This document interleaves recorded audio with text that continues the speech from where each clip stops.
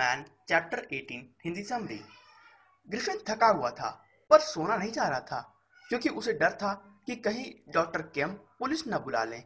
इसलिए वह तरह तरह से उन्हें डराता, धमकाता रहा। और डॉक्टर केम उसको यकीन दिलाते हैं कि उसे कुछ नहीं होगा, वह किसी को कुछ नहीं बताएँगे। डॉक्टर केम के बहुत समझाने पर ग्रिफिन ने पूरे घर का जायजा लिया, ताकि कभी भागना पड़े तो देख लिया जाए कहाँ से भागना पड़ेगा। पर सोने से पहले उसने फिर से एक बार डॉक्टर केम को धमकी दी कि अगर कोई भी गड़बड़ हुई तो वह उसे ज़िंदा नहीं छोड़ेगा। डॉक्टर केम को अभी तक यकीन नहीं हो रहा था कि कोई गायब भी हो सकता है। पर वह उसके सामने ही बैठा हुआ था।